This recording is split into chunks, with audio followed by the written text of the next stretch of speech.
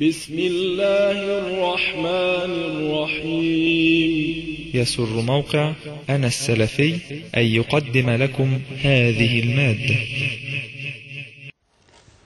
بسم الله الرحمن الرحيم. الحمد لله والصلاة والسلام على رسول الله. مرحبا إخواننا وأحبابنا المشاهدين في لقاء خاص في برنامج في ميزان القرآن والسنة. ضفنا في هذا اللقاء الخاص الأستاذ الدكتور ياسر برهامي. مرحبا بيك أستاذ الدكتور ياسر برهامي نائب رئيس الدعوة السلفية مرحبا بيك. آه، إحنا طبعا الأحداث آه، ساخنة وكثيرة ومتلاحقة.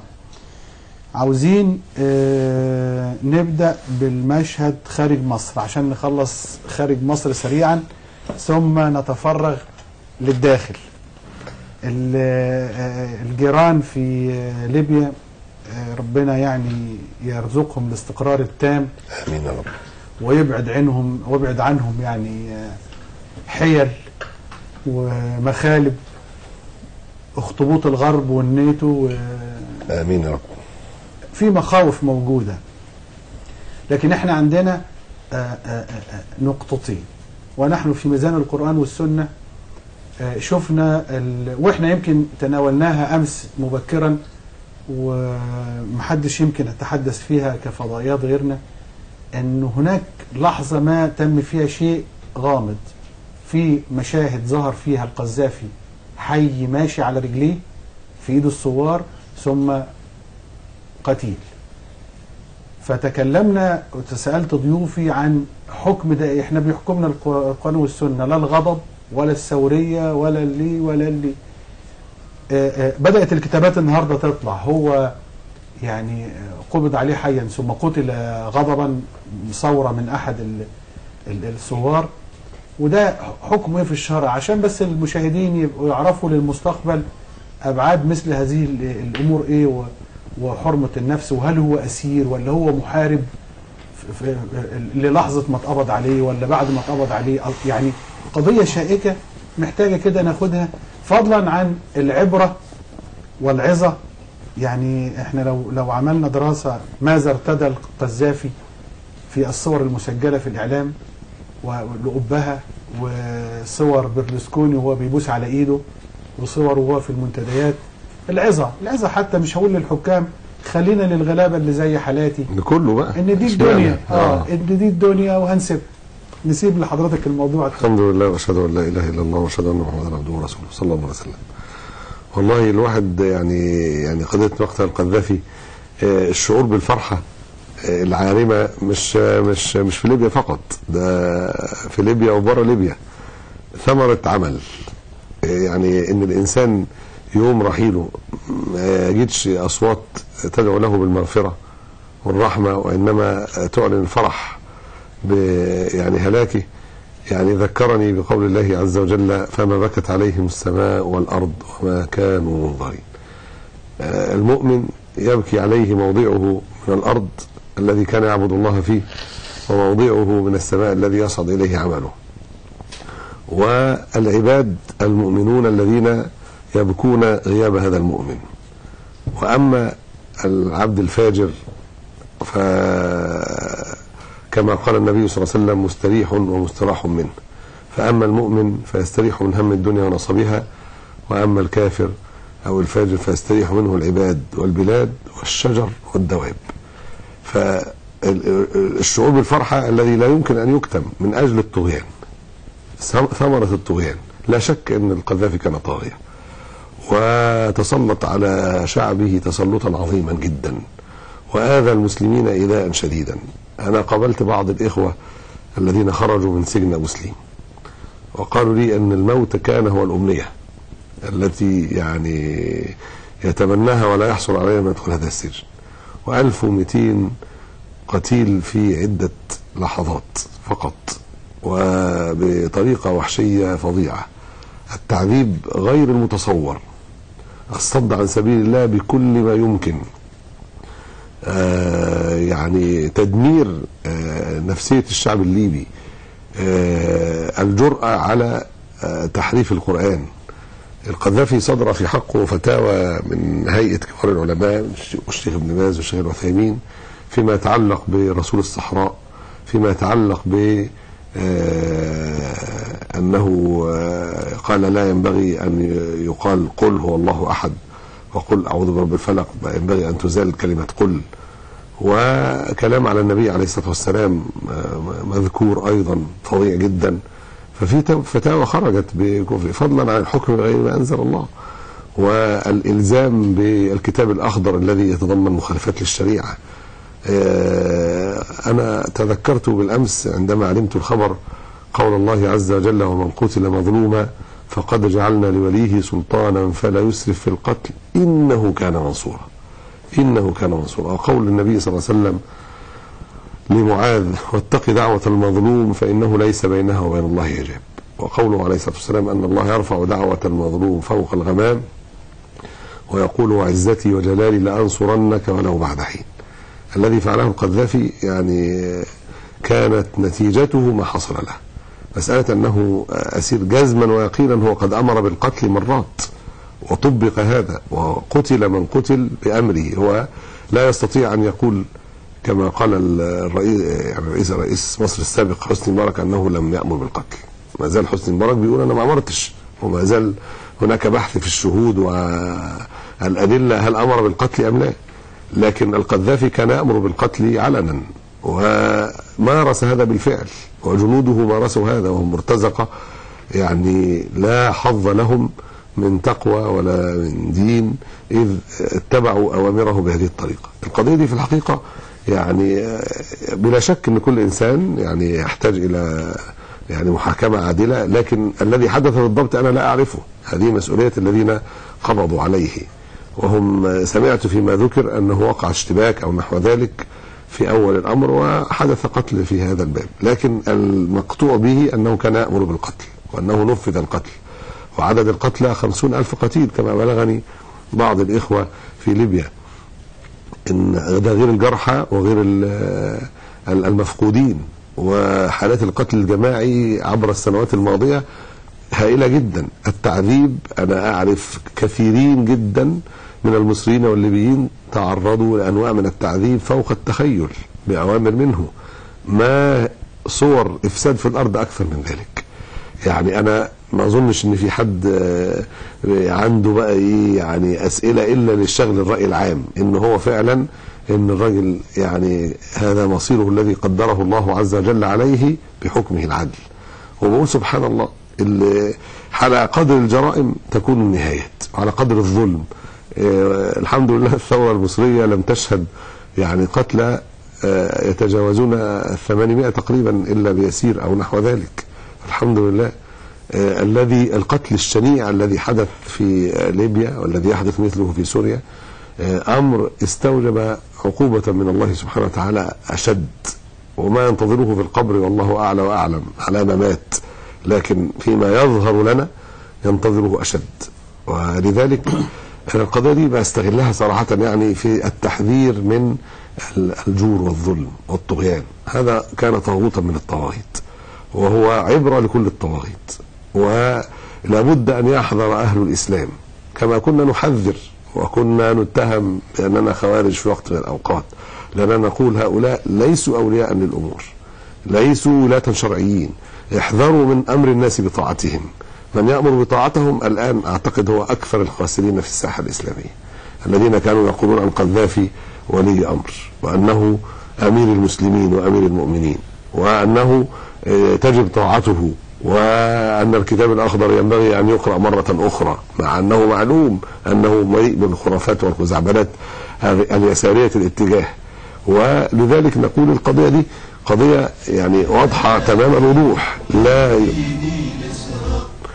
لا يمكن أن يحدث آه، يعني لا يثبت الحكم حكم الولاية الشرعية إلا لمن يقيم الدين ويسوس الدنيا بالدين لا لمن يحارب الدين لا لمن ينشر عقائد الفساد لا لمن يعظم نفسه إلى درجة الربوبية والألوهية الذي يأمر الناس بطاعته الطاعة المطلقة ويزعم أنه لا يحكم. وهو يعني متصلب في الحكم. الاستبداد لدرجة فرض قيادة وهمية لا تصلح. دمرت العباد والبلاد طيلة أربعين عاما. ظلم وعدوان. كل هذا بعد ذلك لا يظل يوجد من يتمسك ويقول كل من تغلب يكون وليا للأمر. هذه نقطة لابد أن ينتبه لها كل الدعاة. لا تراهنوا على آه، رهان خاسر وتخسرون به مصداقيتكم. الحمد لله أن يعني الدعوة السلفية كان موقفها محددا قبل أن تبدأ الثورات وبعد أن بدأت وهو أن آه، ولاية الأمر إنما تثبت لمن أقام الدين وأساس الدنيا بالدين لمن يقودون بكتاب الله كما قال النبي عليه الصلاة والسلام اسمعوا وأطيعوا وإن تأمر عليكم عبد حبشي يقودكم بكتاب الله. ويعني أن من حارب الإسلام حارب الدين وحكم بغير ما أنزل الله بالطريقة المعهودة في واقعنا بإلزام بتشريعات مخترعة أنشأها الناس ويلزمون بها في التشريع العام هذا ليس من دين الله في شيء لا تثبت به ولايه بل هذا من الشرك بالله سبحانه وتعالى. قال الله تعالى أم لهم شركاء شرعوا لهم من الدين ما لم يأذن به الله. قال الله عز وجل ولا تشرك في حكمه أحدا. قضية واضحة جلية تماما من كلام كلام الله وكلام الرسول صلى الله عليه وسلم وكلام أهل العلم بعد ذلك. فهذه القضية أنا يعني آية وعبرة وعظة ولكل الحكام كذلك. سوف يأتي يوم إن استمررتم على ما أنتم عليه. طيب النقطة الأخيرة المستقبل اللي إحنا بنتمنى عشان ندعو الله عز وجل إنه يعني ربما تكون المستقبل التحدي فيه أخطر من ذي قبل. آه ده دي. حقيقه قطعا ويقينا الشعب الليبي؟ الشعب الليبي دفع ثمن غالي جدا. لإزالة هذا الطاغية. لكن اللي جاي هيحتاج تحديات أكثر. يحتاج اولا بصيرة. لأن الشعب الليبي طبعا شعب كله محب للإسلام. ويعني بفضل الله سبحانه وتعالى يكاد تكون آه، يعني إن لم يكن كل الشعب ف 99% منه من أهل الإسلام. آه، أنا يعني نصيحتي للإخوة الليبيين. اولا أن يحذروا ممن يسعى إلى أن يدوروا في فلك الغرب، الغرب طبعا متربص أن يأخذ الثمن. إن هو ساهم في آه، إسقاط القذافي بال- بالحرب ال- حرب الطيران والقصف. لكن الذي دفع الثمن ليس من ألقى القنابل الذي دفع الثمن هو من دمه ومن ماله ومن عرضه ومن كل ما يملك هو الشعب الليبي. فليس من حق أحد أن يتدخل في شؤونه. ولذلك الذين يريدون للشعب الليبي أن يدور في فلك الغرب لابد أن يحذر الشعب الليبي منهم تماما. أنا عارف إن الأزمة اللي كانت عندنا في مصر اللي أثيرت أثناء الثورة من تعديل المادة الثانية موجودة عندهم في ليبيا بس الحمد لله في الإعلان الدستوري الذي تم بعد سقوط طرابلس. الألف واللام في مصدر رئيسي الشريعة الإسلامية مصدر رئيسي ولا المصدر الرئيسي. ولذلك المعركة موجودة. محاولات جعل الحكم لغير الله بالإضافة إلى بعض الأحكام الشرعية محاولات موجودة. أنا أنصح إخواني في ليبيا كلها بأن يحذروا ممن يريد أن يجرهم إلى مظهر من مظاهر التبعية للغرب والدوران في فلك الغرب بقبول التشريعات المخالفة لشرع الله. لابد أن تتمسكوا بقضية إن الحكم إلا لله بكل ما يمكنكم وأن تبنوا نظام آه، دولتكم الجديدة وإن كانت حديثة وإن كانت متطورة دائما وإن كانت يعني تبنى على الشورى لابد أن تبنى على الشورى نمنع الاستبداد لا ندفع الثمن مرتين ولا نقبض شيئا لابد أن تبنى على الشورى ولابد أن تبنى على مرجعية الشريعة الإسلامية.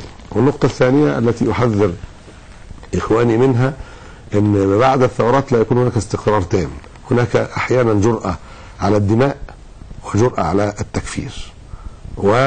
ومن حمل السلاح دون أن يكون عنده فقه أو علم سرعان ما يستعمله آه، دون تروي. وأنا آه، بعد أن أسقطتم الطاغية ولم يبق إلا الجرذان الذين كانوا معه وسبحان الله كان يقول مجموعة جرذان وقبض عليه في أنبوب ماء كالجرذان سبحان الله فالغرض أنه لم يبقى شيء إلا شيء يسير جدا احذروا من آه، سفك الدماء بغير حق كل المسلم على المسلم حرام دمه وماله وعرضه إذا ثبت إسلام إنسان لا يزول حرمة الدم إلا بإحدى ثلاث. آه، كفر بعد إيمان زنا بعد إحصان النفس بالنفس. لابد أن تثبت بالبينات وبالنفس بالنفس لابد أن تكون هناك يعني اجتماع من أولياء القتيل على يعني القصاص. وأولياء القتيل هم ورثته. هذه القضية لابد أن تكون معلومة ويكون القتل عمدا لا شبه عمد ولا خطأ. ولذلك أقول احذروا من مسالك العنف والجرأة على الدماء واحذروا مسالك التكفير بالشبهة. واحذروا من مسائل ال- ال- ال- الجرأة على الفتاوى. ربما لا يحسن أن يفتي في تفسير آية في تفسير حديث في فقه في عقيدة ويتجرأ في أمر التكفير. طيب نستأذنك معنا اتصال. السلام عليكم ورحمة الله وبركاته. أيوة السلام عليكم. وعليكم السلام ورحمة الله وبركاته. إيه، حضرتك أنا كنت عايزة أسأل الشيخ ياسر بخصوص الوقفة الاستراتيجية اللي بعت فيها قناة الحكمة. إيه، بكرة إن شاء الله فصل الصيف بطول شتاء واصحاب الأولى بالنسبة للرجال طبعا النساء مش هيطلعوا بالنسبة للرجال. الأولى إن إحنا نطلع ولا الأصلح إيه؟ لا، الأصلح إن حضراتكم- السلام عليكم ورحمة الله. الأصلح إن حضراتكم ما تطلعوش.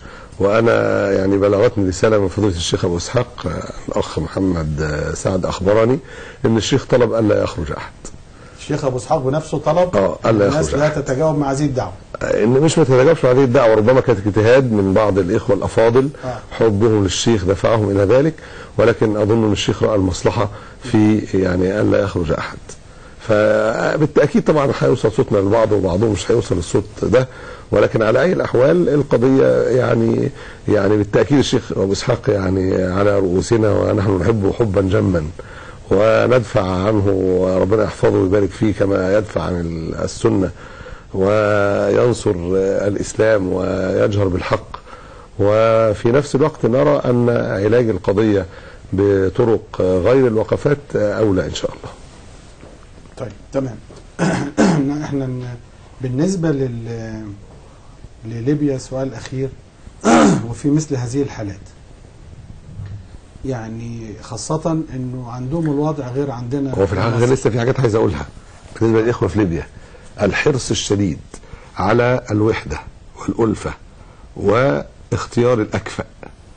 آه، ليس يلزم أن من حمل السلاح وحقق النصر أن يكون هو الأكفأ لكل مرحلة. لا بل يكون له دوره بالتأكيد. وأنا أحث الإخوة على يعني أن يختاروا الأكفأ في كل المجالات. وليبيا تحتاج إلى بناء تعليمي ضخم جدا في العلم بالشرع والعلم بالعلوم الدنيوية لأنها شهدت تدميرا هائلا. كل شيء كان ممنوعا قبل ذلك. آه، ويعني خصوصا الدعوة السلفية الصحيحة. كان في تشويه ضخم جدا للدعوة السلفية في ليبيا. ما كانش بيظهر إن السلفيين في ليبيا الناس بتفتكر اللي هم اللي بيقولوا لهم القذافي لابد أن تسمعوا له وتطيعوا فده كان من ضمن آه، موانع التعليم. طبعا الدعوة السلفية بفضل الله سبحانه وتعالى كان بيانها منذ أول الثورة في لزوم التخلص من هذا الرجل وامثاله وعصابته كان آه، محفزا ضخما على تغيير هذه الصورة لدى المنهج السلفي الحقيقي الوسطي. لكن أنا بقول إن الشعب الليبي محتاج بناء تعليمي ضخم جدا محتاج استغلال الكفاءات قدر الإمكان. الكفاءات ذات الأمانة التي تستأمن على الدين والدنيا. فلا بد أن يكون هناك حرص على ذلك. ربنا عز وجل يوفق الأستاذ مصطفى عبد الجليل. آه، نحن نعرف فيه التدين والحرص على قراءة القرآن الحفظ على الصلاة وعلى الصيام من النوافل. ولا شك أن هذه أمور إعانة بإذن الله. وأظنه الذي حسم المسألة في الألف واللام في المادة الثانية التي في مادة الشريعة. جميل. طيب إحنا كنا بنتكلم على كنت على قضية إنه هناك الوضع كان غير مصر. يعني مصر كان الصدام محدود وكان بين الشرطة وبعض البلطجية والثوار. نعم. وكانت برضو الخسائر محدودة وخلال أيام قليلة في أيام الثوره إنما في ليبيا كانت شهور طويلة ومعارك وأسلحة ثقيلة و وبعدين في نقاط صراع يعني كانت واضحة في مصراته في بني وليد في سرت جذور قبلية آه. طبعا إذا أنت أشرت ليه بس أنا عاوز يعني نتكلم عليه تاني من مدخل تاني. آه، المصلحة هنا تقتضي إنه المسؤولين يعني يعلنوا صفحة عام وغلق هذا الملف وإنه يعوض المضار حتى من الدولة والشهداء والمصابين و يعني منعا لل... للصدام. لأنه لو بقى مفتوح أنت عملت أنا ما عملتش. طب لا أنت عملت. طب أنا هاخد حقي بدراعي. مش هستنى. هو يعني إن كان هو طبعا في حقوق لأولياء القتلى. ده ربنا يجعلها ليهم هم. لا نستطيع أن ن- نعفو ونحن لسنا أولياء للدم. فلكن لابد أن يثبت الأمر بالبينات. يعني يثبت أن فلانا قتل فلانا بشهود عدول أو باعتراف. أما مع العمايه فلا يثبت بهذا يعني أمر ده يؤكد. كلامي أو سؤالي. ما أنا بقول هو لا لو ثبت خلاص جيبوا شهود وبينات وخذوا حقكم إن كنتم أردتم القصاص بالشروط الشرعية وهو أن يجتمع يثبت إنه قتل عمد ببينة أو اعتراف على فلان لفلان وفي نفس الوقت يجتمع ورثة القتيل على آه، القصاص ونحو ذلك ولا شك أن يعني من ظل يحمل السلاح إلى الآن وما زال يقاتل أظن الأمر سينتهي خلال أيام أو ساعات إن يكون في حد لسه بيقاتل. يبقى هو يستحق المقاتلة. إذا تاب قبل أن يقدر عليه حتى لو كان مفسدا في الأرض قال إلا الذين تابوا من قبل أن تقدروا عليهم. فيسقط أمر الحرابة ويبقى أمر الايه؟ يبقى أمر القصاص، القصاص ده له شروط. يلتزموا بالشروط. يبقى الأمر يكون كذلك، ألقوا السلاح وسلموا أنفسهم. قبل أن يقدر عليهم يبقى يبقى أمر كما ذكرنا. يسقط حد الحرابة. ويبقى أمر القصاص لمن ثبت بالبينة أنه قتل فلانا بعينه. ونصيحتي للجميع أن مثل هذه كما تطلب أنت لكن ننصح بها.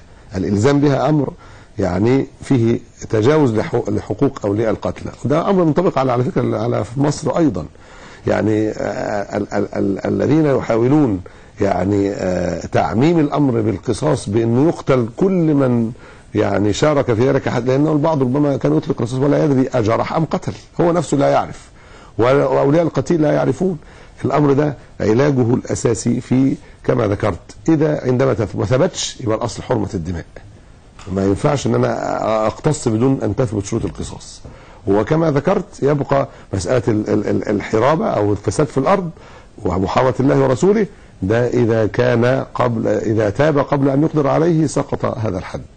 فبالتالي العلاج في مثل ذلك عندي أنه لو يتم صرف الديات الشرعية وتتحملها يعني القبائل التي ظلت تقاتل أو حتى لم الدولة تتحملها درءا للفساد والفتن بين القبائل لكان ذلك من خير الأمور. طيب أنا بس عاوز برضه أ- أشير لنقطة فيها إنه أنا بتخيل ال- لو في بقايا محاربين من طرف الكتائب القذافي هو يخاف حتى يسلم نفسه لأنه ممكن يسلم نفسه يقتل. يعني أول ما يقول خلاص. يلقي السلاح ويهرب. آه. و فلا إيه المانع إيه المانع إن إحنا بمفهوم المصلحة. آه، يعلن إن هيسلم نفسه. الدولة تشجع المجلس يعلن الانتقالي. هيسلم نفسه لن يحارب ما يشجع آه، أو. يطمئن عشان ده كلام سليم درء. الفتن. آه إن هو من يسلم نفسه وسلاحه قبل أن يقدر عليه لن يكون لن تكون عقوبته عقوبه المفسد في الأرض. وبالتالي لن تكون عقوبته القتل إلا لو هو بقى أولياء القتيل كما ذكرنا. ده أمر ما لا يملكه الحاكم شرعا. طيب نستأذن معانا اتصالات. السلام عليكم ورحمة الله وبركاته. عليكم السلام ورحمه الله وبركاته. ازيك يا دكتور عاطف مرحبا بحضرتك اتفضل. آه، معاك أبو أسلم من اسكندرية. ممكن. بس أكلم الشيخ ياسر؟ اتفضل. أهلا ومرحبا. ازيك يا شيخ ياسر؟ أهلا وسهلا. آه والله يا شيخ ياسر بالنسبة بس للموضوع بتاع الشيخ أبي إسحاق الشويني. أيوه. آه إحنا طالعين بكرة آه بهدف الدفاع عن علماء الأمة الإسلامية. ليس لشخص الشيخ اسحاق نفسه لأن إحنا شايفين إن في استهداف للمشايخ والعلماء. فخروجنا دفاعا عن العلماء. والله دي لي- جزاك الله عملتك الصالحه وبالتأكيد أنا أتمنى أن أكون معاكم لكن نداء الشيخ أبو إسحاق هو اللي خلى إن ما إحنا أنا عايز أعلق على الكلام ده. أنا حضرتك بعد ما سمعت الكلام من حضرتك اتصلنا على الدكتور وسام عبد الوارث اللي آه. هو قائد الحملة على قناة الحكمة. وأكد إن ال- الشيخ ابي إسحاق ما قالش الكلام دوت. وهو منتظر فعلا خروج الناس. أنا حدثني. العهدة على الراوي بقى أنا بقول لك هجيب لك السند. حدثني الشيخ محمد محمد سعد سعد. ال- ال- ال- ال- الص- اللصيق جدا بالشيخ آه، ابو إسحاق آه. عن الشيخ أبو إسحاق. مفيش حد بتاعه، تاني. آه، يعني. مفيش حد في السند تاني. فأنا قلت ما علمت. بس. آه. وهو وأنا أظن محمد سعد الشيخ طبعا الشيخ جازما. ويقينا حبه في القلوب آه، أكيد يعني. وأنا واحد من محب الشيخ قطعا ويقينا يعني. ونسأل الله أن يجمعنا وإياه في الجنة. لكن أظن هو قدم المصلحة العامة من في هذا الأمر. يعني كما بلغني أنا قلت لك السند وما ما عنديش أظن أنها سلسلة صحيحة إن شاء الله. إن شاء الله. في اتصال أنا تاني اتصلت بالشيخ على فكرة عشان أتأكد مباشرة بس الشيخ الظاهر كان عامل التليفون صامت أو كان نام فما استطعتش أعلو بالسند أكثر من ذلك. جميل. والاخ محمد سعد طبعا ما أنا بقول لحضرتك يا شيخ محمد سعد. لصيق وهو آه، نعم. يعني آه. ذراعه ال- الأيمن. نعم. السلام عليكم. وعليكم السلام ورحمة الله وبركاته. اتفضل. ازيك يا الدكتور عاطف. مرحبا بحضرتك الله اتفضل. يحفظك. أحيي شيخنا وتاج رؤوسنا فضيلة الشيخ ياسر إبراهيمي الله يحفظك أود منه التعليق على أمرين يعني. آه، صدرت فتوى من الشيخ علاء أبو العزيم هو شيخ الطريقة العزمية أن القذافي مات شهيدا. يعني وهذا يدلنا إلى العلاقة الوطيدة التي كان يكرسها القذافي بينه وبين الصوفية آه، الأمر الثاني أود منه التعليق على ما يجري في تونس من من الأحداث آه، الأليمة التي آه، يعني موجودة الآن في أرض تونس من تسلط العلمانية التي ضربت بجذورها في أرض تونس وقلت الصحوة والدعوة السلفية هناك. فيعني لي طلب منه أن يعلق على هذه الأحداث لا سيما وهم مقدمون على المشاركة في الانتخابات وانتخابات البرلمانية وهكذا. فنريد منه أن يعلق على ذلك ون- ونلتمس منه أن يرسلوا ببعثات من من الشيوخ والدعاة حتى يعني يحيوا هذه الدعوة السلفية مرة أخرى وي- ويقووها آه، حتى لا يستأسد العلمانيون على إخواننا السلفيين الذين هم والله بمثابة المجاهدين نحسبهم كذلك على الله أحدا. جزاكم الله خير. شكرا أما بالنسبة. لفتوى موت القذافي شهيدا فوالله من أعجب الكلام. على ما استشهد. على يعني من أجل ماذا؟ لتكون كلمة الله العليا؟ قال النبي صلى الله عليه وسلم من قاتل لتكون كلمة الله العليا فهو في سبيل الله. القذافي كان على ما يقتل شعبه. أنا يعني أتعجب من هذا الظلم هذا ظلم جديد الذي يجعل القذافي مات شهيدا. هذا الأمر من هذه الفتوى من أفسد الفتاوى. لأن القذافي كان يقاتل على خد بالك مش فتوى ده رأي. يعني أقصد أبو العزام مش ماشي. مفتي. ولا وكان يعني ده بلاء عظيم جدا. يعني هذا القذافي كان يقاتل على ملكه على كتابه الأخضر على تحريفاته للنصوص على حربه للكتاب والسنة على حربه لأهل السنة على كل أنواع الضلال التي يعني القذافي كم طالب بإقامة دولة باطنية فاطمية كما يزعم وما وما صنع ذلك. القذافي يعني حارب الله ورسوله وحارب المؤمنين وفتاوى أهل العلم يعني في المشارق والمغارب من جميع الاتجاهات أنه كان رجلا ظالما طاغيا. تونس. بالنسبة لتونس اللي بيحصل طبعا ده ثمرة لنقول كام سنة؟ 180 سنة من العلمانية من تاريخ احتلال فرنسا لهذه البلاد ثمرات أجيال متتابعة ثم كان البلاء الشديد من عهد بورقيبة ثم سن العابدين. آه، أقول الإخوة آه، الزرع آه، يرمى بذره ثم يسقى ثم ينبت بإذن الله تبارك وتعالى. أنتم أهم شيء في المشاركة السياسية أن تمنعوا في المرحلة الحالية صعب جدا أن يشاركوا بطريقة تغير الواقع وتغير ال- المنهج العلماني. لكن احرصوا على منع الاستبداد والظلم. حتى تضرب الدعوة بجذورها. بإذن الله تبارك وتعالى ستكون مشاركتكم بإذن الله في المرات القادمة أقوى بكثير من من الآن. ونحن نسعد بالتوجه إلى تونس وإن كان هناك محاولات عرقلة ما زالت موجودة. لكن لكن في فرصة قائمه ان الاسلاميين يكون لهم بصمتهم آه بالتأكيد. انتخابات تونس اللي هتبدأ يوم الأحد. يعني يوم الانتخابات دي الاحد طبعا ال- مشاركة الإسلاميين بالثقل فيها أمر مطلوب. آه. وما ما, ما, ما, نتوقعش يحققوا كل حاجة. وإن هم حتى لو حققوا بعض المكاسب ما نقولش لا ده ما عملناش حاجة وقابلنا التنازلات لا ده أنت من الصفر تبدأ لا معلش من تحت الصفر. أنت يعني الشعب التونسي تعرض لطمس هوية جعلته عشان يوصل للصفر دي حاجة كويسة عشان يبقى متعادل ليس ضد الإسلام. وهو بحمد الله تبارك وتعالى فوق ذلك لكن في قطاعات ما زالت من الفنانين يعني دي اللي اللي عملت فيلم لا الله ولا سيدي دي. راحت فرنسا ما رضتش يعرضوا راحت انجلترا ما رضيش ما رضيش يعرضوه خوفا من ال- الشباب المسلم هناك في البلدين. راحت عرضته فين؟ عرضته في تونس. لا الله ولا سيدي والعياذ بالله. لا خرافات الصوفية ولا الشريعة ولا الدين على بعضه والعياذ بالله. عنوان مستفز للغاية. في طائفة من السياسيين والاقتصاديين والعلماء والإعلاميين والفنانين تربت في عهد بورقيبة وزين العابدين. ستأخذ وقتا قبل أن يبدأ الإخوة في تونس في إثبات وجودهم على الأرض. وبإذن الله يجتهدون في الدعوة ال- ال- ال- ال- بالحكمة والعظة الحسنة لتغيير ال- ال- المجتمع التونسي من الأرض. والبذرة تحتاج إلى وقت.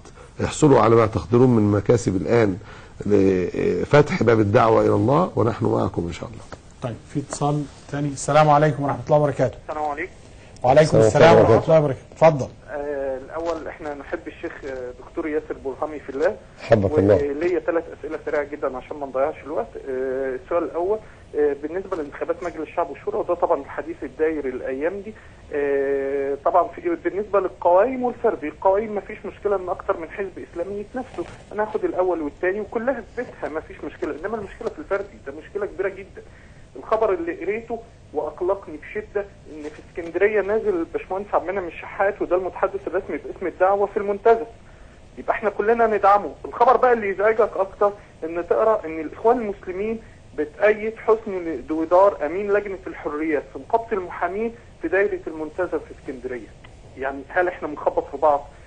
طب إحنا ماشي إحنا نزلنا ده مرشح وده مرشح. نختار الأكفأ. ما عرفناش نختار الأكفأ. نختار الرموز. ما عرفناش نختار الرموز. نختار واحد ونتفق عليه لأن الفردي هتبقى مشكلة كبيرة جدا جدا جدا. إحنا بنتكلم أنا بتكلم من الخبر اللي قريته في اسكندرية إن باشمهندس عبد المنعم نازل والإخوان لن على عهدة الراوي. يعني مش متأكد. طبعا عندنا في الداخلية في الفردي إخوان ضد سلفيين بالهبل. طبعا مش هط... إحنا من القايمه إحنا زي ما قلنا ما فيش مشكلة المشكلة الكبيره جدا في الفردي فهل كبار المشايخ وكبار العلماء ممكن يقعدوا بحيث يختاروا لنا واحد؟ ده رقم واحد. النقطة الأولى، النقطة الثانية المهمة جدا كان الشيخ محمود المصري بيتكلم امبارح مع عمرو الليثي كلام جميل جدا جدا على البرنامج اللي هو بتاعه في الميدان. وكان بيتكلم على الأقباط وكده ودكتور ياسر برهامي لسه سامع له كلام برضه جميل جدا عن الأقباط، الشيخ محمد حسان كان عندنا في المنصورة من يومين واتكلم كلام جميل جدا جدا جدا على الأقباط ودول شركاء وشركاء في الوطن. بس طبعا ما فيش تدوير للقضية الأحداث مسبيرو وبرضه بيلوم عليه. إنما أنا سمعت كلام لدكتور حسام أبو البخاري وائتلاف آه، اللي هو دعم المسلمين الجدد. بصراحة يعني أنا شخصيا كواحد مسلم ويعني تعتبر تقول ممكن سلفي. لا أسأني جدا الكلام هو انت جاي تتكلم. تولع ولا جاي تهدي؟ يعني اللقاء ده كان المفروض هيبقى فيه فلوباتير اللي هو اللي اسمه فلوباتير جميل ده. كان المفروض هيتقابلوا الاثنين مناظرة في برنامج محطة مصر بتاع معتز. لو كان جه فلوباتير زي ما مسيحيين كتير اتصلوا ومسلمين كتير اتصلوا أنا أعتقد دي كانت فتنة تانية مؤكد. لأن كل واحد جاي محضر للتاني فاحنا بنرجو من الدكتور ياسر برهامي يهدي حسام أبو البخاري شوية يهدي ائتلاف دعم المسلمين الجدد شوية نهدى شوية أنا لا أنسى ولا أنسى إن السبب يعني حسد وكره طبعا آه، ما نقولش حسد وكره بلاش الكلام ده يعني حسد آه، سبب غضب المسيحيين الكبير من السلفيين بالذات المظاهره اللي حصلت قدام الكاتدرائيه مش ممكن يعني ولا حد سلفي أنا عارف ان الدكتور ياسر اتصل قال لهم امشوا والشيخ حسن ابو الاشبال راح لهم وقال لهم امشوا ما هو مش ممكن كل واحد سلفي واحد يعمل لك خطا تتحاسب بيه الدعوه كلها عشان خطا فرد فاحنا إحنا بنرجو من الدكتور ياسر برهامي بما انه رمز كبير جدا وإن الناس بتسمع كلامه في جميع أقطار مصر. يعني يهدي الناس دي شوية يهدي. نطلع. علوا لنا الصوت شوية يا شباب. علي صوتك شوية علي صوتك. آه أنا آسف. حضرتك سمعت كلامي عن لا لا آخر جملتين ثلاثة ما سمعناهمش. آه كلامي عن دكتور حسام أبو عايز سمعناه. ده- سمعناه. البرهامي. يعني المفروض ده سمعناه ده سمعناه. آه النقطة الثالثة المهمة إن المجلس العسكري إحنا طبعا بنحبه ألو؟ سامعينك اتفضل. ألو؟ سامعينك. آه المجلس العسكري إحنا بنحبه ونقدره ونبارك له ونقول له يا رب يسلم السلطة بس اللي إحنا شايفينه بمنتهى الواقعية إن لو الواحد شاكك بنسبة م- 90 10% شاكك إن هو يسلمها للمدنيين الشك بعد الحديث اللي اتعمل يوم الأربعاء وصل الشك بالنسبة لي بنسبة 90% إن هو مش هيسلمها مش هيسلمها للاسلاميين يعني إحنا ما نبقاش فرحانين قوي إن انتخابات هتحصل وإن المجلس هيسلمها ده أعتقد بنسبة 90% ده مش هيحصل مش هيحصل خالص. فإحنا ما نحطش يعني إيه أملنا الكبيرة. يبقى لازم عندنا خطة ب. حديث الأربعاء ده اللي كان من- الانتخابات وقفت. لو حصلت مشاكل في الانتخابات وجي قال لك الانتخابات أنت بتعمل شعارات دينية. لو جه قال لك إن ال- أنت إيه حزب على أساس دين. بعد ما أنت كسبت وكسبت وخدت الأغلبية يقول لك لا لا لا لا ده أنت كنت حزب على أساس دين. لا لا ده المرشحين بتوعك كانوا بيستخدموا الجوامع. لا لا لا المرشحين بتوعك كانوا بيحطوا دعاية انتخابية بترفع شعار الإسلام. فإحنا مش عايزين الثقه طب لحظة بس اسمع سامعني. أنت قلت بعد بعد ال- يوم الاربع آه. ده كان إيه يوم الاربع كان الاربع اللي هو حوار اللي هو حوار اللي هو- آه. واللي هو محمود حجازي اللي قالوا إن الانتخابات الرئاسة هتحصل في مارس 2013 ما ده مش أول مرة يقال الكلام ده معلن في الجدول. طيب حلو قوي. ما دام معلن في الجدول يبقى مصر بس وده من الكلام اللي معترض عليه 2013. الكلام اللي معترض عليه لما حضرت ال- الأحزاب صحيح. ال 16 حزب ولا الكام حزب ووقعوا على ورق وكان ده آه، إنه اختصار المدة. يعني ده كلام مش جديد. أيوه هي الفكرة. حضرتك عاطف هل أنا أقصد نقدر- انت منك قلقك يتحول من 10% ل 90% آه، فقط ليه هذا لا؟ الحديث. الحديث ده حديث ضمن أحاديث ما لا لا تقلقش. لا لا لا لأن أنا سامع وسامع يعني الأستاذ بلال فضل كان اتكلم على الموضوع ده قريب جدا وقال إن في تغيير كبير جدا حصل في ثقافة المجلس العسكري اتجاه الثورة بعد حادثتين مهمين جدا. رقم واحد بعد أحداث السفاره الإسرائيلية والحادث الثاني بعد جمعة لم الشمل اللي هي جمعة الاسلاميين في ضغوطات بتواجه المجلس العسكري بمنتهى الشدة. وطبعا ربنا يبارك له. وربنا يخليه يسلم لنا السلطة بأقصى وبنشكره على حماية الثورة واللي هو ما قربش دماء المسلمين. على عيننا وراسنا والله. بس فعلا في ضغوطات. أنت مش هتسلم السلطة الإسلامية. وحتى لو سلمتها هحط لك حاجة في الدستور تقول لك هحافظ على مدنية الدولة. والكلام ده الفريق سامي عنان اكده طب عشان نعرف نجاوب بقى على الأسئلة عشان كده طيب. هتوه مننا. عموماً- الكريم. سؤالك وصل أو ت- أسئلتك وصلت في اتصال تاني يا شباب؟ السلام عليكم ورحمة الله وبركاته. السلام عليكم ورحمة الله وبركاته. عليكم السلام ورحمة الله وبركاته. يمكن أشارك بقصيدة؟ شارك بقصيدة. يا شباب الثورة قوموا صلوا للمولى وصوموا. وافتحوا باب التحدي. ده النهار راحت غيومه يا شباب الثورة قوموا يلا يا أبطال يا ناجر زفوا للدنيا البشاير. شعبك ضد الظلم ساير. ولا حد يقدر يلومه. يا شباب الثورة قوموا. أنتوا والجيش يد واحدة. ومشيتوها واحدة واحدة. الهامات على الأرض سجدة. والقمر حاضن نجومه. يا شباب الثورة قوموا. افتحوا الشبابيك للنور واربوا كل أرض بهور يا تاريخ جو السطور انتهى الماضي بهمومه. يا شباب الثورة قوموا. بكرة نعمر بلادنا جينا والأولاد ولادنا. إحنا بالحرية عدنا والهوى جلدة نسيمه. يا شباب الثورة قوموا. شكرا والسلام عليكم. جزاك الله خير عليك جزيلاً. عضو حزب حددت. النور بان عليك. آه نبدأ. أنا مسجلهم. الكلام عن الفردي وبقول إن القوائم خلاص آه. ويعني هو يعني أنا بس الأول الصدام الفردي. لا يعني هو ليه الاختلاف لازم يبقى فيه صدام. أنا طبعا آه، الشيخ عبد المنعم الشحات ربنا يحفظه ويبارك فيه يعني حبيبي آه، يعني وأنا اللي اللي باكرهه على ال- على الدخول كي يكاد يبكي.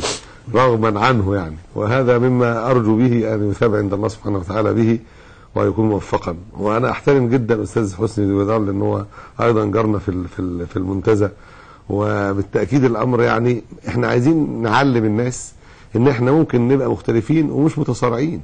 ليه هتتوقعوها إن إحنا آه، طالما اختلفنا يبقى هنتقاتل الموضوع مش كده.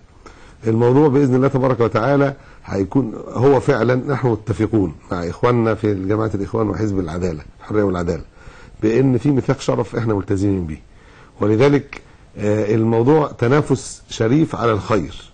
وأنا مش هتفرق معايا كتير رغم إن أنا طبعا بحب الشيخ عبد المنعم وأتمنى إن هو يكون يعني اسدا في الدفاع عن ثوابت الأمة في المجلس وفي الهيئة التأسيسية بعد ذلك. لكن آه، بالتأكيد لو حد آه، يعني أيضا يقوم بنفس الدور من اتجاه إسلامي آخر فبالتأكيد أنا مش هتبقى القضية كبيرة. لكن آه، الحقيقة أنا بقول طالما هنلتزم ميثاق الشرف وعايزين نعمق هذا الأمر عند أبناء الدعوتين نوصله للقاعدة. وإحنا متفقين على ذلك. متفقين على إن بيننا مراعاة الأخلاق الإسلامية الالتزام التام بها حرمة الدم والمال والعرض. إن حرية الدعاية الآمنة للطرفين. أنا أأمن إن يكون في دعاية للطرفين والناس تختار بحرية. ما ينفعش إن أنا ما تعرفش أتعامل إلا لو كنت شيئا واحدا. لا أنا عايز أتعامل إسلاميا مع من يوافقني وأتعامل إسلاميا مع من يخالفني. هذه القوة المطلوبة قوة في الرفق. ليس الشديد بالسرعة ولكن الشديد من يملك نفسه من الغضب. لذلك إحنا بنقول لشبابنا في كل الت- ال- ال- الأحزاب الإسلامية في الطائفتين خصوصا الإخوان والسلفيين في حزب العدالة والحرية وحزب النور. بنقول لهم يا شباب أنتم اللي بتمارسوا ال- الحملة الانتخابية. طيب لحظة معانا الأستاذ محمد سعد. آه، اتفضل. السلام عليكم. وعليكم السلام ورحمة الله وبركاته. شيخ محمد ازي حالك؟ عاطف ازي حضرتك؟ وإزاي الشيخ أبو إسحاق؟ و- والله الحمد لله بخير والله الحمد لله. ازي دكتور عاطف؟ ازي الله حضرتك؟ يكرمك. الله يحفظك طمنا الرأي إيه عشان برحب طبعا بالدكتور الشيخ ياسر الله برهان يحفظك يا شيخ محمد. أنا استقبلت السند النهارده مضطر يا شيخ محمد. لا والله هو بس في نقطة هو يعني هو طبعا فعلا كان الشيخ قبل موضوع قناة الحكمة لما تذيع مسألة ال انه الناس تيجي ومس قناة كان الشيخ أصلا مش عايز حد يجي يجي عند ال- عند المحكمة. لكن طبعا بعد ما قناة الحكمة عملت الحملة دي فبقى صعب إن إحنا نقول للناس ما يجوش لأن كل حاجة ترتبت على إن الناس جاية وكده يعني. فحضرتك لما قلت فحصل طبعا بلبلة جامدة في وسط الناس فمن ساعتها بيعملوا اتصالات فوصل لهم كأنهم اليوم اتلغى. بس هو الحقيقة ما اتلغاش يعني. فكان بس إيه ال ال كلامي مع حضرتك كان قبل كان ساعة ما قناه الحكمة أعلنت يعني. آه نعم. فاحنا يعني ميعادنا بكرة زي ما هو وإحنا بس بنقول للناس اللي, اللي يعني اللي هتيجي إن شاء الله أهم حاجة يكونوا ملتزمين بالمنظمي الحملة لأن الحملة دي الشيخ أبو إسحاق ليس له علاقة بيها دي حملة شعبية من أجل إسقاط المفتي علي جمعة لأنه فعلا لا يصلح لأن يكون مفتيا لبلد كبير مثل مثل مصر العربية الإسلامية. هذه البلد كبيرة جدا عليه وهو للأسف الشديد لا يصلح لأن يكون مفتيا له. فبيقول الاخوه اللي هيجوا يكونوا ملتزمين؟ باللي هيتقال لهم من مديرين الحملة؟ آه، بغدا إن شاء الله. ويعني هو خلاص اللي طلع في ناس بدأت تطلع وفي ناس هتيجي يعني بدري.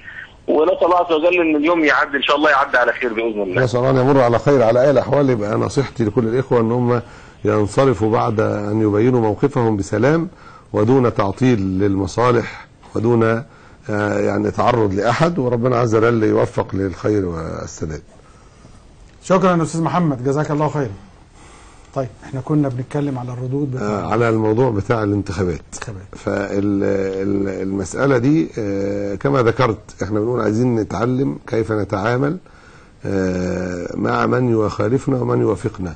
ولا يلزم أن يكون بسرعة قلت في التزام آه، بالأخلاق الإسلامية بحرمة الدماء والأموال والأعراض بعدم الاعتداء من أي من المشاركين. بقول للشباب في الجامعتين وفي الاتجاهين والمناصرين لكل من المرشحين إن التزامكم بهذا الخلق الإسلامي يعني يمثل صورة حضارية للمسلمين عند اختلافهم. عادي جدا إحنا ممكن نختلف وجهات النظر في تقديم شخص وتأخير آخر مش لازم كل مرة نتفق. وبالتالي صورتكم أنتم اللي هت- هتجعل الصورة حضارية ام صورة إن إحنا لا نعرف كيف نطبق الإسلام. فالتزموا بما يعني أمرتم به من قبل الشرع وكما ذكرنا نحن متفقون على ذلك مع الإخوة في يعني جماعة الإخوان وفي حزب الحرية والعدالة إن يكون في التزام بميثاق الشرف. إحنا الاثنين مع بعض باللجان الشعبية اللي من هنا واللجان الشعبية اللي من هنا متعاونين مع بعض في منع البلطجة. منع شهر السلاح منع الاعتداء بأي طريق كان منع التزوير منع الرشاوى الانتخابية منع محاولات التضييق على الناخبين في الذهاب إلى انتخاب ما يريدون. آه، بنطلب من الإخوة وأنا أكدت على إخواننا ذلك إن اللي هيقف هنا يوزع الورق أخوه جنبه واقف يوزع الورق الثاني من غير أي مشكلة. الصورة الحضاريه دي هتوري للناس إيه التزامنا بالإسلام الحقيقي؟ إن إحنا لما بنختلف هنعمل إيه؟ عادي مش أنا أنا مش شايف إن يكون في قلق شديد جدا إن إحنا اختلفنا. طب وماله ما إحنا هنختلف. هنختلف زي ما الصحابة اختلفوا رضي الله عنهم. وعايزين نوصل إن إحنا لا نصل إلى التقاتل بإذن الله تبارك وتعالى ومفيش أصلا داعي إلى ذلك. والقائمة النسبية زي ما قلت ريحتنا في 65% من الأمور. في بعض ال- النقاط فيها يعني اختلاف والله فعلا أنا كنت دائما أسأل الإخوة مين اللي غالبا هيكون مرشح قوي من جهة الإخوان في هذه الدائرة؟ وأقول اللي إحنا مضطرين إن إحنا نكون موجود ندخله في القائمة عشان ما يبقاش في تنافس من هذه النوعية. لكن إحنا إلى اللحظات الأخيرة كنا بنسأل واحيانا ما نعرفش نوصل لجواب. يعني يمكن يكونوا هم لأنهم كانوا داخلين في تحالف مع الأحزاب الليبرالية والعلمانية. فكانوا في آه، يعني إيه اضطراب في تحديد القوائم ومين الفردي فما ما كانش بنوصل لنتيجة في الموضوع ده. وبالتالي فإحنا م- لغاية آخر لحظة لغاية ما قلنا ضغطنا على الشيخ عبد المنعم إن هو ينزل آه، غصب عنه فعلا ومش مش مش راضي يستجيب إلا بصعوبة آه، إلا إن إحنا ما كناش نعرف مين الإخوان هيأيدوا مين أو هينزلوا مين في الدايرة دي. حزب العدالة طيب هيأيد ده. بيجرنا لسؤال طبيعي يعني أيوة. هو, هو أنا برضو ملاحظة حاجة حضرتك وسامحني فيها إن أنا كل لما كلمت آه، القيادات في الطرفين بيهونوا من الأمر لأن هم متخذي قرار يعني هم متخذي قرار وهم شايفين الحدث من واقع آه، رؤيتهم هم وهم اللي في البحر إنما عموم الناس مشاهد للطرفين. و... وعنده صدمة. معلش برضو في الألفاظ اللي يعني أنا في الحقيقة دي السبب اللي مزعلاني. ليه الصدمة؟ ليه الصدمة؟ آه. لأنه الناس آه أنت عارف بتحلم بحاجه أنا متعطش للصح لا ماشي بس وأنت حش... عمال تحشدني بقالك آه، تسع شهور ضد الليبرالية والعلمانية واليساريين واللي واللي واللي وكان اللي بيحشدني كنت أنتوا الاثنين مع بعض. يعني كان الإسلاميين كلهم كانوا بيبدوا لنا كتلة واحدة. وكان في آه، في الإعلام الإسلامي نوع من التوحد. أنا كان عندي قناة ما بتكلمش الاسم طيار بيجي حضرتك ضيف وده ضيف وده ضيف وفي بقية القنوات. في بقية الإعلام كان في آه، رفض الدستور اولا أولا مع بعض المبادئ الحاكمة. مع وإحنا مع بعض في, في أكثر القضايا المطروحة. آه يعني ما كانش فيها وإحنا هنفضل مع بعض في مناصرة الشريعة الناس ويقينا. صدمت الناس صدمت صدمة حقيقية. تبقى القضية السؤال. إنه أنت قلت حضرتك إنه كان مش عارفين فترشحنا. والأخ بيتصل بيقول لك ما زال الفردي هناك فرصة. يعني آه، آه، آه، وحضرتك قلت أنا ما عنديش مش هزعل. لو آه، آه، واحد من عندي ما نجحش بس نجح واحد من الإسلاميين من الطرف الآخر. تبقى القضية إنه للأسف ممكن ينجح ثالث ده نتيجة تفتت الأصوات قد ينجح لا، طرف هو آخر. أعلم يعني فالسؤال في معظم هل من الدوائر- فرصة؟ يعني آه. حتى ورونا خمس ست دواير على الأي... إيه على, إيه، على ده أي تنزل. لده وده تنزل لده يعني بعد ما تظهر ان بكرة. هتقفل الباب. تمام. وبعد كده الطعون آه. لما تستقر الأمور وارد. يعني نبذل كل جهد في يعني حسم القضايا دي بحيث ما يحصلش تفيت الاصوات تمام. وده اللي الاخ متصل. لأن فعلا وارد جدا إن تحصل طعون ولو قبلت ما نعرفش هت- هتقبل آه. ولا هترفض ضد طرف أي طرف يعني ضد يعني ناس كتيرة. مش و- مشكلة في في, ال- في, بعد ما وارد يحصل بعد ما تستقر يتقفل. الأمور. تستقر الأمور يحصل فيه تعديل فيها. تفاهمات يعني. إن شاء الله. طيب السؤال الثاني بتاع الأخ كان بيتكلم عن الأخ حسام البخاري. والله إحنا أنت جزاك جزاك الله خيرا على حرصك على الخير وإحنا آه، يعني أنت أنت ذكرت أثناء المكالمة إن أنا اتصلت والشيخ حسن الاشبال اتصل والشيخ محمد مقصود اتصل أيام مظاهره الكاتدرائية آه، وبالتأكيد إن هذا الأمر يبين موقف الدعوة آه، الحقيقي وموقف السلفيين الحقيقي من مسألة الأقباط وإن إحنا حريصين تمام الحرص على عدم آه، اعتداء أو عدم إثارة فتنة رغم إن هناك حقوق للمسلمين يعني يعني قد تكون قد ضيعت وهناك آه، يعني أشياء وقعت أثناء احداث مسبيرو مؤلمه للغاية هناك تفت مؤلمة للغاية حدثت. ومع ذلك نقول لكل الإخوة بما فيهم الدكتور حسام وهو يعني أخ عزيز علينا جدا وعلى يعني علاقتي به علاقة ممتازة أن المرحلة الحالية تقتضي آه، آه، إدارة الأمر بحكمة. ويعني أنا يعني أنصح الجميع بأننا لابد أن نفوت على الأعداء اللعب على آه، التناقض الطائفي لأجل إفشال العملية السياسية ولأجل إدخال البلد في صراع يكون مبررا لأصوات نكيرة أصوات شديدة العداوة للأمة تطالب الغرب بالتدخل. وهذه أنا ما زلت أطالب. طلبت كتابة وقولا وما زلت أطالب بأن يحاكموا بتهمة الخيانة العظمى. الذين يطالبون بالتدخل العسكري في مصر يطالب باحتلال البلد. هذه خيانة عظمى لا ينبغي أن تمر أبدا. ولذلك لكننا نقول لابد أن نفوت الفرصة نوضح الحق للناس هذا واجب. ونقول الحق لا نخجل منه هذا واجب. ولكن في نفس الوقت يعني لابد أن نفوت الفرصة على الأعداء. وأنا متأكد أن عامة المسيحيين أو الأقباط آه، لا آه، يرغبون إطلاقا في إيقاد الفتنة التي يريدها بعض المتطرفون بعض المتطرفين.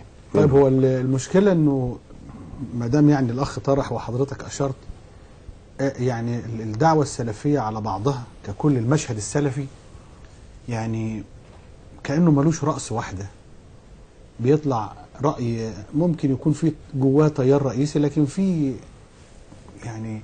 م م آه، يعني ده- ده- محتاج يعني هل ده هيستمر ولا ممكن يتبلور في والله؟ الأمر ده إحنا في ولا مرحلة ممكن يزيد ال- ال- لا، ال- الأمر ده يعني إحنا لابد أن نبذل الجهد في يعني أن يكون هناك آه، اتفاق والتنسيق واتفاق على رأي واحد بأن هذا يعني أمر فيه المصلحة لكن مسألة وجود يعني آه، قدر من الاختلاف كما ذكرت لابد أن تستوعب. ولكن الناحية العملية لابد أن يرجع الناس إلى أمثل أهل العلم آه، لكي يكون الكلمة واحدة والتصرف واحد. طيب إحنا معانا دقائق هناخدها في حاجات آه، سريعة. آه، هو كان الأخ اتكلم عن ال- المجلس العسكري وإحنا أظن نطمنه يعني إن لسه ما فيش. والله أنا دايما أحب أفرق ما بين ال- الظنون والاستنتاجات وبين الحقائق. ماشي كده؟ أنا عندما توجد حقائق على الأرض يبقى ساعتها تطالبني بتصرف. استنتاجات وتخوفات وظنون خليها في دائرة الظنون. تمام. وأنا ما يعني رغم أن أنا أختلف مع المجلس العسكري في كثير من القضايا ولكن ما زلنا يعني نحسن الظن بأن الوعود سيتم الوفاء بها. إن شاء الله. ونرجو الله سبحانه وتعالى أن يوفقهم للوفاء بوعودهم ونطالبهم بالوفاء بعهودهم جميل. إحنا عندنا ثلاث نقاط ساخنة فيما يبدو لنا. كمتابع آه، يعني قابلة للانفجار. آه، آه، النقطة الأولى دور العبادة الموحد اللي بقى فيه قانون للكنيسة لبناء الكنائس ممكن يصدر خلال أسبوع تقريبا وممكن يبقى موضع خلاف. النقطة الثانية قانون التمييز واستخدامه يعني يعني هيبقى ممكن حاجة زي الطوارئ كده أو أشد. وموضوع استعمال الشعارات الدينية في الانتخابات. هنبدأ بالشعارات الدينية لأنها يعني آه، اسم الإسلام قطعا ويقينا هو في الدستور. آه. لو ده شعار ديني ولا يجوز استعماله يبقى الدستور يجب هدمه. لأن الدستور بيقول مصر دولة إسلامية. جميل. إذا نعم. فلما واحد يقول مصر عربية إسلامية ولا يقول الإسلام هو الحل ده اولا ده شعار المحكمة حكمت إن هو لا يخالف الدستور وبالتالي لا يخالف القانون تمام. لو في قانون يخالف الدستور يبقى القانون ده باطل طيب. فما ينفعش يجي واحد يثير فتنة بتف... بفهمه الخاص لأن هو وضع مثلا على. يعني مسؤولية آه، لجنة عليا للانتخابات ويجي بقى يتحكم في ذلك ويشعل فتنة لأن دي هتبقى فتنة فعلا إن هو ي... يفسر آه، بعض الشعارات بأن هو شعار إن هو ده شعار إيه ديني, ديني. لا إن اسم الإسلام ده موجود في الدستور. مصر دولة إسلامية مصر دولة عربية مصر دولة آه، مرجعيه الشريعة فيها مرجعيه التشريع فيها للشريعة الإسلامية. فلما واحد يطالب بهذا وهو يقول ده مخالف للقانون يبقى بيجعل الدستور مخالف للإيه؟ للقانون. وحاجة بديهية عند كل الدستوريين عمليا. والقانونيين إن الدستور فوق الإيه؟ فوق القانون. وإن القانون اللي خالف الدستور يبقى إيه؟ باطل لأنه غير دستوري. فإياك إياك أن تضع آه، هوية الأمة محل خلاف أو محل تقاضي لأن ده ما كان واردا في الدستور يجب أن يتمسك ده فرض عليه هو اللي يتمسك به فرض وخصوصا هذه المادة. وبالتالي فبنقول إن الأمر ده يعني نحذر من أن يحاول البعض بفهمه المتطرف أحيانا إن هو آه، يجعل من هذا سببا لابعاد مرشحين أو لإبطال حملات آه، أحزاب أو نحو ذلك. طيب آه، عمليا حزب النور هيلتزم بهذا الأمر ولا هيشتغل بحريته عشان ي... بالتأكيد. يعبر عن هويته؟ لا بتعبر التعبير عن الهويه في حدود الدستور ده قطعا ده حق لينا. آه في حدود الدستور مش في حدود كلام اللجنة العليا للانتخابات. اللجنة العليا هي إذا ما التزمتش الدستور تبقى باطلة. آه. اللجنة العليا للانتخابات يعني لا هي هتستعملوا شعارات دينية. هي لا تحد لا مين اللي قال كده؟ أنا هستعمل أنا هستعمل ما في الدستور. اسم الإسلام ليس هذا من المقصود- شعارات إسلامية. ليس المقصود به الشعار الإسلامي؟ ليس المقصود به اسم الإسلام استعمال اسم الإسلام ليس مقصودا به في القانون استعمال شعارات دينية. لأن إحنا بنقول الأحزاب التي كون كونتها التيارات الإسلامية أبنائها وتبنتها آه، هي أحزاب بتسمح لغير المسلمين بالدخول فيها. وبالتالي فالجزء الخاص بالشعارات الدينية التي تمنع غير المسلمين من الإيه؟ من المشاركة في هذه الأحزاب ونحو ذلك. وليس أو أو إنها تستخدم التهييج. يعني على سبيل المثال معا مثلا قلنا معا ضد الأقباط. أو ده شعار دين. واخد بال حضرتك هيبقى ده هو ده اللي هيكون آه، آه، يعني ممنوع من من ذلك. أو هو ده اللي ينبغي أن تفسر به هذه الإيه؟ المواد. أو إن حزب مثلا يعني ينزل آه، مثلا بتاع اللي اسمه إيه؟ التحالف الايه المصريين. لا التاني. الثاني اسمه إيه؟ التح- التحالف المصري إنه يقول ضد الإسلاميين أو ضد الشريعة الإسلامية. لو هو عمل كده يبقى بيستعمل إيه؟ أو يقول مثلا مصر للأقباط. بس ده تفسير حضرتك أنت بقى لل... ما أنا بقول أصلا خلي التفسير ده ده مثال. وإلا فالباب واسع جدا ودي هو نفس الخطر اللي موجود في قانون التمييز اللي هي ال- العمومية الشديدة والإجمال الشديد. إيه هو ال- ال- ال- التفسير؟ يعني إيه يعني إيه كل شيء فيه تمييز ضد جنس أو اصل أو أو أو أو دين أو عقيدة؟ يعني انت حطيت عقيدة أو كمان. لغة. أو لغة كمان. يعني لو قلت بقى مصر عربية هتقول لي كده انت إيه عندك تمييز أو نحو. ده, ده كلام في منتهى الخطورة. هو ده الخطر اللي موجود في قانون التمييز؟ أنا أنا ضد اضطهاد أي طائفة بما فيهم الأقباط على رأس الطوائف التي لها يعني في الكثافة السكانية تمثل أقلية.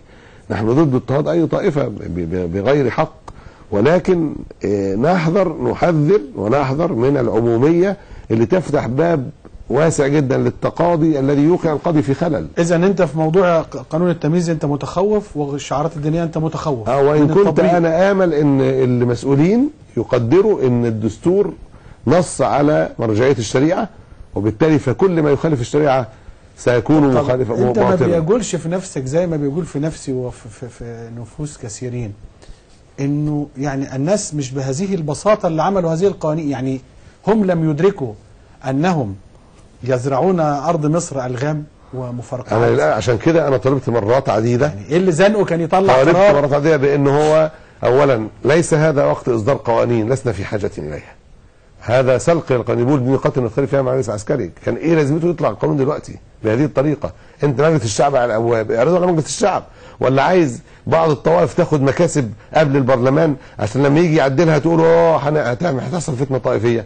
ما هو الكلام ده اولا كل القوانين اللي صدرت خلال المرحلة دي لن تكون لها قوة القوانين حتى تعرض على مجلس الشعب الجديد. وبالتالي فلا فإيه التعجل لذلك؟ ده حاجة قدامها شهرين ثلاثة هتطبق القانون خلال شهرين ثلاثة إزاي؟ ومين اللي هيطبقه؟ وانت لسه جهاز الامن لسه ما اتبناش والجهاز القضائي فيه يعني صراعات كثيرة وتفسيرات كثيرة وكل حاجة هتبعت لها آه، للمحكمة الدستورية العليا عشان نشوف ده دستوري ولا غير دستوري. وأنا بقول الصياغة الصياغة اللي صاغوها للأسف الشديد ووقع عليها أف- آه، المجلس العسكري صياغة من ترزية القوانين السابقين اللي بيصيغ بصياغة إجمالية تعمل لنا انفجارات كل شوية. طيب. إيه لازمة هذا الأسلوب؟ آخر نقطة اللي هي بناء الكنائس. القضية دي لما يتعرض الأول القانون وبرضه بنقول لابد إيه الاستعجال في ذلك. ما, ما في قوانين موجودة. لو عملوا بيها خلال هذه المدة ال- القادمة إيه اللي هيحصل؟ ليه الاستعجال الشديد في فترة ال- الحكومة غير مستقرة؟ المجلس العسكري صلاحياته فيها منازعة. ونعم هو يقوم ب- ب- ب- بمهمة رئاسة الجمهورية لكن ما يقومش بمهمة تشريعية. والمهمة بمهمة سن القوانين هو مهمة مجلس الشعب الغير موجود. فلماذا التعجل في ذلك؟ أنا صراحة أطالب مطالبة واضحة جدا بتأجيل هذا الأمر حتى يتم انتخاب مجلس الشعب الجديد. طب هل أنتوا انشغالكم بالانتخابات وهمومها لو صدر ال- القانون. هنشوف الأول. أنت ما تطالبنيش بموقف مسبق. هتبقوا مش فاضيين ليه ولا هت... لا كل شيء. إحنا أصلا لابد إن إحنا يكون لنا موقف واضح من كل القضايا. لكن لما يصدر الأول ونشوف أو المفروض إن هو قبل ما يصدر لازم يوضع على مناقشة مجتمعية حقيقية. مش يقولوا الاثنين ثلاثة يقولوا إحنا ناقشنا مناقشة مجتمعية. المناقشه المجتمعيه مناقشة الاتجاهات ذات الثقل الموجودة في المجتمع كله. الوقت غير مناسب. والوقت غير مناسب دي حقيقة خلاص تؤجل الأمور دي. طيب عشان في قوانين موجودة دلوقتي إيه العجلة في تعديلها حاليا؟ هم مش عاشوا بيها سنين طويلة. هي الموضوع ده ما ما عاشوش بيه في ظل عبد الناصر وأنور السادات وحسني مبارك أكتر من 60 70 سنة. ما الذي حدث حتى يتم الضغط الشديد في التعديل؟ لماذا؟ والامر ده ما ما عاشوا بيه وما اظن هل رايت ممكن هيقول لك هل رأينا أنتوا أحدا؟ أنتوا يا إسلاميين خدتوا مزايا عملتوا أحزاب وطلعتوا وح- وأنت أصلا ما عملناش أحزاب إلا من خلال ال- ال- الدستور. وأنت هو مش ساويرس عمل حزب هو آخر. هو ساويرس ما عملش حزب ولا عمل؟ بس ما قالش مرجعية ما هو هو ما هو هو قبطية ولا لأنه ما. يقدرش لأن هي مخالف للدستور. أنا بقول حاجة موافقة للدستور لأن هوية الأمة كده. ده ده دين الشعب. المصري في 90% منه أكثر من 90% 96 94% حسب الإحصاءات العالمية والرسمية من المسلمين. يبقى إزاي أساسا إنك تهمل هذه القضية؟ طيب آه، ملاحظة بسيطة. يعني من واقع الاتصال بتاع ال- الأخ محمد سعد وطبعا مع حبنا الشديد للشيخ أبو إسحاق وتأييدنا لموقفه وأيضا رغبتنا في ألا يتصارع العلماء. يعني لا لا ما فيش أي صراحة نهائي. ال ال ال الأخ محمد قال إن إحنا مش هن مش بر مش بن يعني حركتنا و- وقفتنا غدا لإسقاط المفتي. يعني تغيرت من إنه لتأييد الشيخ أبو إسحاق في القضية. لا هو القضية معروضة على القضاء. ما ينفعش. إن إحنا نقول إحنا الشيخ أبو إسحاق في القضية القضاء هو اللي هيفصل يعني أقصد الآن إن إحنا لسه آه. كنا بنتكلم على إنه عاوزين التوقيتات آه. تمشي. آه. أصل نخشى برضه إن الموضوع ده يكبر مننا.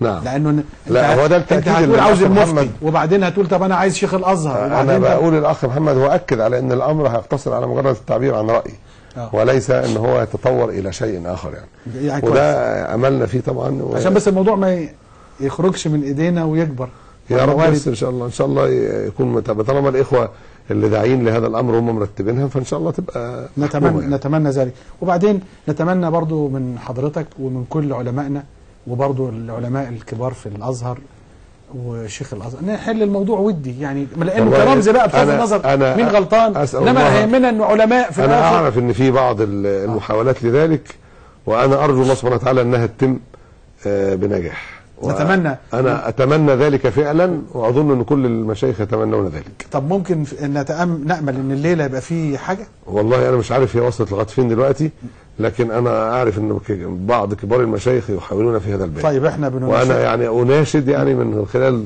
صوت ضعيف يعني يوصل إن هو آه، إن كل الساعين لهذا آه، الأطراف كلها تتقبل سواء يعني الشيخ أبو إسحاق أو المفتي يقبلوا حل الموضوع بطريقة ودية. وع- يعني وقفة غدا تمر إن شاء الله من غير آه، أزمة وبإذن الله يتم يعني الأمر بطريقة ودية بإذن الله. نتمنى ذلك وإحنا بن يعني بنحملك الرسالة إنك أنت تتصل بكل الأطراف الله المستعان. وبكل الوسطاء المحتملين.